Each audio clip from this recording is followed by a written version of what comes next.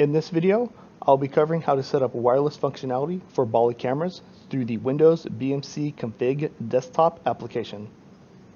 You can download the BMC Config application on our website in the download section.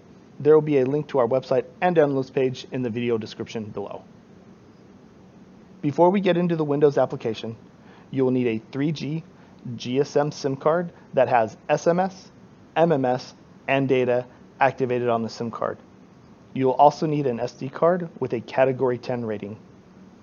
Go ahead and insert the SD card directly into your computer if it has an SD card slot, or plug that SD card into the camera and then the camera, camera directly into the computer through mini USB cable that was included with the camera.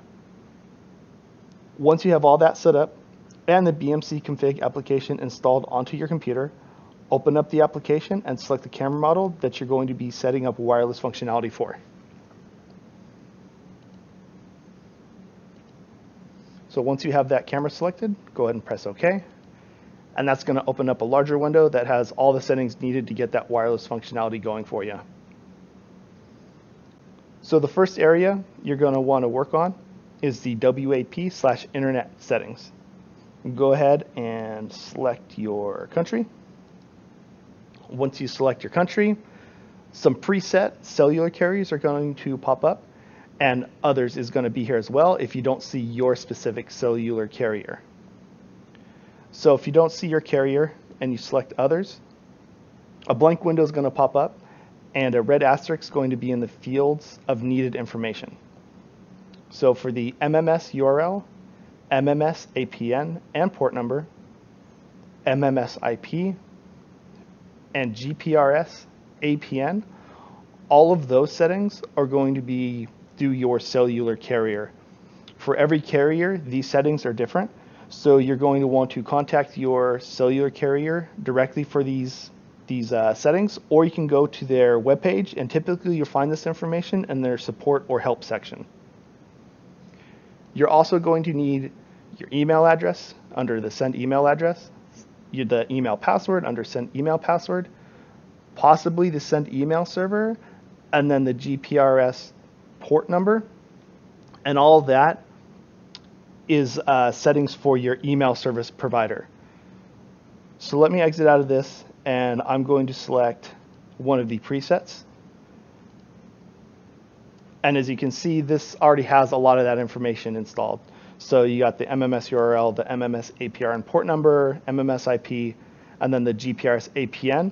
All the settings that were associated with the cellular carrier are already preloaded into this for me. Let me go ahead and put in the email address information real quick.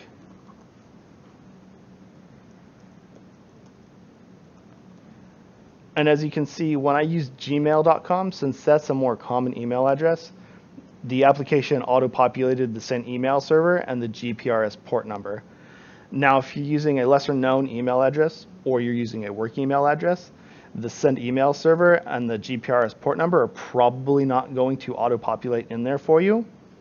But you can find that information just like the cellular carrier information um, you'll go to the email service provider's webpage and look in the support and help sections, and you should be able to find the send email server and the GPRS port number. If you're entering in a work email, you'll want to get in contact with your IT department or whoever runs your email addresses and maintains them. They should have that information for you. So once you have all the needed information where the red asterisks are located, you go ahead and press OK. And it's going to ask you if you want to save all the WAP and internet parameters. Press OK. You should get a save success. Press OK, and now that part of the settings is done. You'll notice the email address you put in in the WP and internet settings auto-populates into your receive email here. The next piece of information you'll want to enter in is your admin number. And all the admin number is is the the phone number associated with the cellular device that you want the pictures the camera is taking to be sent to. So let me go ahead and put in a phone number here. And that's all you have to do there. You can enter in more phone numbers and more email addresses if you want the pictures to be sent to multiple emails and phone numbers, but keep in mind every phone number and email address that you put in here, the phone sends to and it uses data and depending on your plan, it might use up the plan, so be mindful of that. Another section in here is the camera settings. Now this has nothing to do with the wireless setup, so if you're only concerned about the wireless setup, you don't have to worry about the camera settings. But when you do go into camera settings, it's going to list just all the basic settings that you find when you're scrolling through the camera itself. So like photo size, time lapse, PIR, PIR trigger, video length, photo burst, things like that that you typically set up in the camera itself. But you do have the option here to set it all up at once if you choose to. So once everything's set up here, you're going to want to click on the uh, above the save option. There's a window here that shows you all of the options to save the actual information to. You're going to want to make sure you select the SD card. And on my computer, I know it's the H drive. Typically, the C drive is going to be your internal hard drive, and anything after that is going to be all your external drives, SD cards, memory cards, whatever you might have in your computer. So just make sure you have the SD card selected before you click save, because if you don't, the information is not going to move on to the SD card. You're going to plug the SD card into the camera, and then none of those settings are going to show up. So just make sure you have the right hard drive set up here for that. You go ahead and click save. It's going to ask you if you want to save all the parameters Click OK. You should get a save success.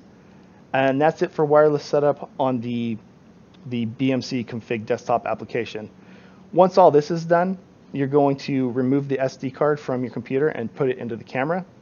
You're then going to turn the camera on into setup mode and then wait for the camera and the SIM card to recognize each other and recognize the network and move from there if you already have the SIM card in the camera and you had the camera plugged directly into the computer, just go ahead and unplug the computer from the USB cable, turn the camera on into setup mode, and then the same thing will happen. You'll wait for the SIM card and the camera to recognize each other, and then the SIM card to connect to the, the cellular network.